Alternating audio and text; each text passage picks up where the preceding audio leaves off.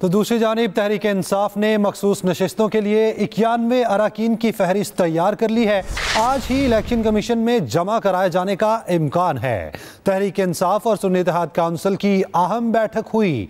मखसूस नशस्तों से मुतल फैसले समेत जेर समात दीगर केसेस पर मुशावरत की गई। मखसूस नशस्तों के नोटिफिकेशन के साथ चीफ इलेक्शन कमिश्नर से इस्तीफे का मुतालबा। पी टी आई रहनुमाओं ने पार्लियामेंट हाउस के बाहर एहतजाजी मार्च किया।